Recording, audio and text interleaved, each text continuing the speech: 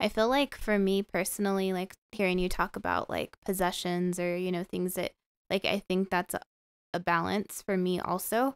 Um, trying to figure out like because I do like certain things, right? But then I think that like at a young age I was working really hard and like I started to get a lot of the things that I wanted. Like I always wanted a Mercedes, so I got a Mercedes. And then like I think that right there was like one of the things like well once you get it, like do you really feel any different? Like is your Did you? life No. Like I didn't. And like even to this day like when it's like something that I want, like and I try to be like really it's hard because I get kind of like like if it's like a ring or something that I really want, like Mhm. I I want it, but then like after a while, like I'm just like okay, like it, it's cool, but like I don't really like I don't have that same excitement about it, right? Like it kind of fades.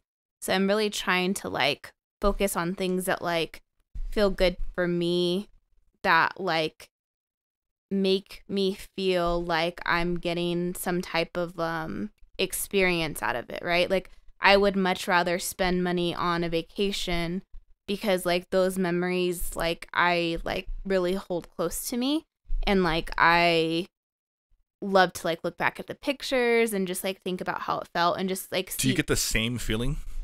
Like compare going on a trip to the obviously you said the Mercedes thing died off and you kind of didn't really like, you know what I mean? yeah But I'm sure the moment you drove off the lot it felt pretty fucking good, right? yeah And so compare that initial moment to a vacation. Would you say it's pretty similar, different? Um, I feel like the vacation is like more of, or I think I just like experiencing things, like meeting new people, cultures, things like that.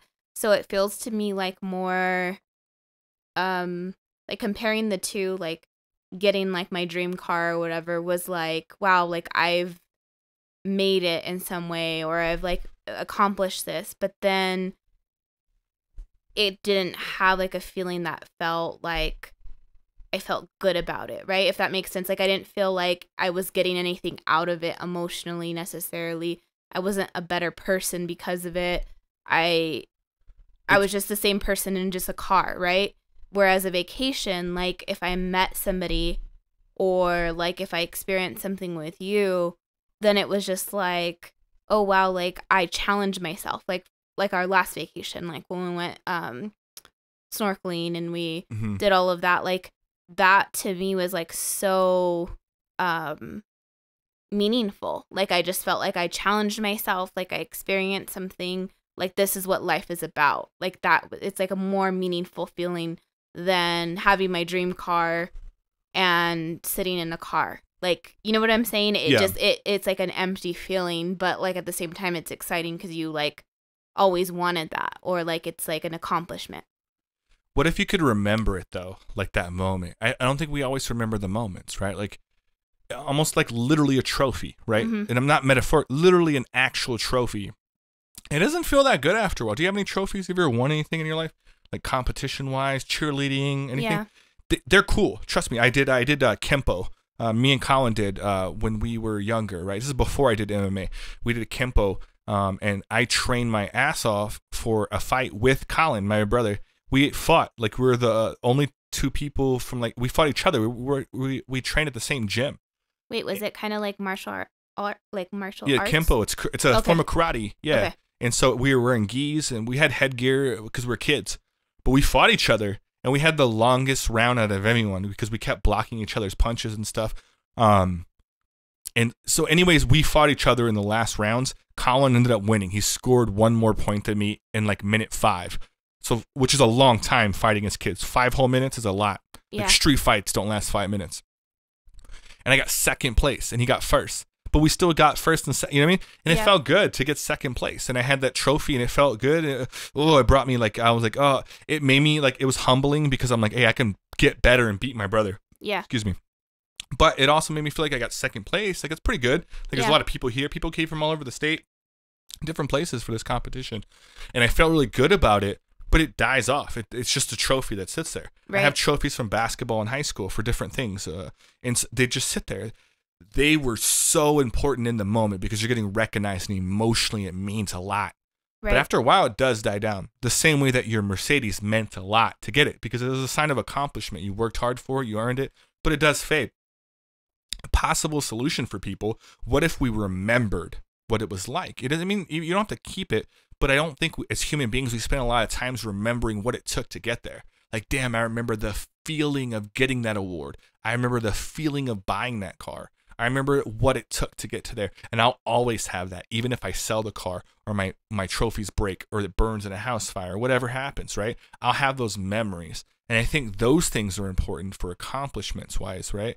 To Yeah. actually enjoy it, which is proof, going back to our original point, that the money you spend on stuff doesn't matter. The memories do. The trip does because you remember. You don't have a trip. I can't look over at the shelf and see our trip to Hawaii, right? But I remember what it was like. I remember driving. I remember like all the stuff we saw and did. It was it was fun. Those memories will live with me forever. Yeah. Forever. But the memories of that moment when you bought your Mercedes doesn't. And it should. And it should. The memories that I have of winning that second place trophy, you know what I mean? It should. Those things should matter. Yeah. You know what I mean? And I don't need the physical trophy anymore, but I have the memories. And so I agree with you 100%. Use your money to make memories. And if it's on something physical, right? Like these mics, I spent money on these mics, but these are memories. I'm always going to remember doing these podcasts. I'm always going to remember the music I made with them. I'm going to remember these moments with you, right? Yeah. I'm I'm in, investing in something that's going to bring me memories. You know what I mean? These are memories are important. These are experiences. And when you're older, they go away. People lose their memories when they get older, right? Yeah. some people faster than others. Some people don't lose them at all. Yeah.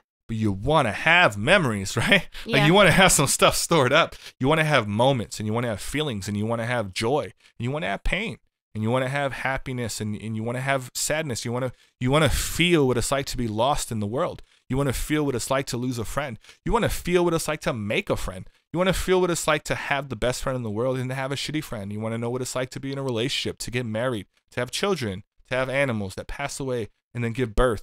And then you have a puppy. And then maybe you don't. Maybe you move. Maybe your house burns down. Maybe you build a house one day. These Yeah. are all memories. And you want to have tons in the bank because the older you get, the less you remember them, the less they're there. But if you have a lot of them, I have a feeling this is my theory, and I know I've been ranting for a while. I'm sorry. I have a theory as human beings, if we make memories, if we make joyful moments, if we make the best of our time, we experience life and we have tons of stories. Yeah. That helps our brain stay stay healthy. It's it's exercise for your brain. It's going to the gym for your brain. Yeah. And when you're an older person, you ever meet it? Have you met an older person? I'm sure you have. That's just on it Yeah. and you're like, God, I want to be like that. That person lived a life. I guarantee you, they lived Yeah. a life. Look at uh your old boss. You know what I'm talking about? Yeah. He has stories. He lived a life. He's been to places. He's done things. Yeah. And the older he gets, those stories are going to be just as awesome. And I think he exercise exercised the fuck out of his brain. And now he's an older person. He's not even that old, but when he is super duper old, he's gonna have all those things because Yeah. he spent his life making memories and using his brain. And so that's my theory. I want to make sure I make memories and meet people and do all these things. And I think that will cause me to have a healthier brain as an older person. Yeah. Hey guys, if you enjoyed that clip, click on this link right over here to subscribe to this clip's channel. Or if you want to view the entire conversation, go ahead and click on this link over here to view the entire podcast. Bet you on the next one, guys.